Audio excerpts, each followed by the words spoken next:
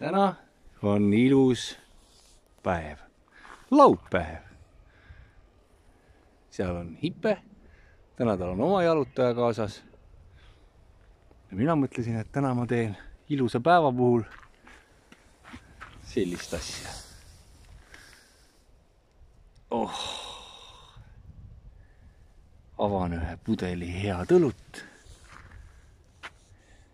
naudin seda mõnusat päikest, sooja. Hipe saab jalutada. ja mina saan alustada laupäeva nautimisega. et ta siin kauem üksikult ei ootaks ja ei seisaks, vaid saaks avatud siis ma hetkel lõpetan selle video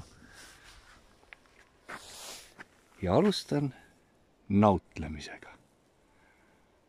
laupäeva nautlemisega. ilusat laupäeva soovin ka teile.